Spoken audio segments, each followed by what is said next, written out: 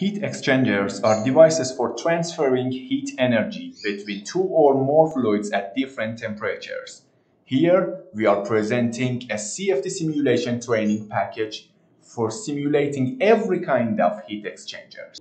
By clicking on the subscribe button, you will be informed about the newest CFD training videos by Mr. CFD. Or if you are watching the training video, click on the Mr. CFD logo and subscribe. In general, heat exchangers are divided into two groups of shell and tube type and plate type heat exchangers. This CFD training package study about these two general heat exchanger types by investigating six different examples using ANSYS Fluent software. Six different types of heat exchangers are investigated in the CFD simulation training package by ANSYS Fluent. At first, we investigate a simple plate heat exchanger.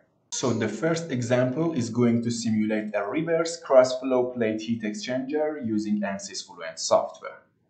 In the second example, we investigate a more professional plate heat exchanger called Chevron. In this model, water acts as hot and cold fluid flow in heat exchanger. After investigating two different types of plate heat exchanger, it's time to investigate and study shell and tube heat exchangers. In the third simulation, we will study and simulate a spiral heat exchanger. In the example number four, we simulate the performance of phase change material or PCM inside a shell and tube finned heat exchanger. In the project number five, we will investigate the nanofluid effect on a shell and tube exchanger considering baffle cut. Also, in the final example, again, we investigate the effect of nanofluid on the shell and tube exchanger performance. And this time, the only difference with the last project is using helical fin instead of baffle. You can obtain all the related files, including geometry files, mesh files, and also comprehensive training videos by purchasing the CFD training package. Following, we can observe some parts of one of these CFD simulation about plate heat exchanger as a demo. The present problem deals with the simulation of a plate heat exchanger called Chevron. The three-dimensional geometry of the present model is designed by Design Modeler software. Since the model is related to the plate type heat exchanger, it consists of two main parts. I mean hot water flow zone and cold water flow zone. The boundary between these two flow paths is determined by the separator plates or chevron. The non-conformal structured mesh of the present model is carried out by ANSYS meshing software and the element number is almost equal to uh, 640,000. Before setting up the Fluent software for the CFD simulation, we should check the mesh quality. So click on check button and see if it's done or not. In this case, we can see that the mesh quality is alright because it's done. In the viscous model, the standard K epsilon model has been used. That is a two equation turbulence model that allow the determination of both a turbulent length and time scale by solving two separate transport equations. Uh, the standard K epsilon model is in ANSYS Fluent falls within this class of models and has become the workhorse of practical engineering flow calculations in the time since it was proposed. Uh, robustness, economy, and uh, reasonable accuracy for a wide range of turbulence flows explain its popularity in industrial flow and heat transfer simulations. Also, it is a semi-empirical model. The standard K epsilon model is a model based on model transport equations for the turbulence kinetic energy K and its dissipation rate epsilon. The model transport equation for K is derived from the exact equation, while the model transport equation for epsilon was obtained using um, physical reasoning in the derivation of the K epsilon model. The assumption is that the flow is fully turbulent and the effect of uh, molecular viscosity are negligible. The standard K epsilon model is therefore valid only for fully turbulent flows. The liquid and the fluid that is going to be used in this CFD simulation and uh, as the main flow for the heat exchanger is liquid water. So we define all the material properties in the material tab. Before investigating the boundary conditions, we should uh, check the cell zone condition. There are two separated zones of cold part and the hot part. Uh, both of them are the fluid type and the material for the fluid type is defined as water liquid. The cold inlet water temperature is equal to 283.15 degrees of Kelvin.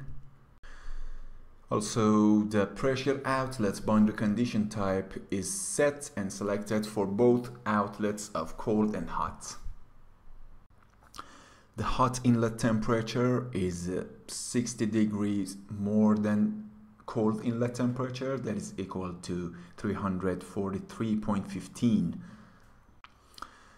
Finally, we should set the last boundary condition in this section that is related to the plate. The plate is uh, the chevron plate. It's uh, a stationary wall and no slip. Since the chevron plate is assumed to be a coupled wall, I mean uh, there are two different zones in both sides of the chevron plate, so it's a coupled wall. And because of that, uh, a shadow is defined for the plate. For setting under relaxation factors, we should say that the pressure-based solver uses under relaxation of equations to control the update of computed variables at each iteration. In ANSYS Fluent, the default under relaxation parameters for all variables are set to values that are near optimal for the largest possible number of cases.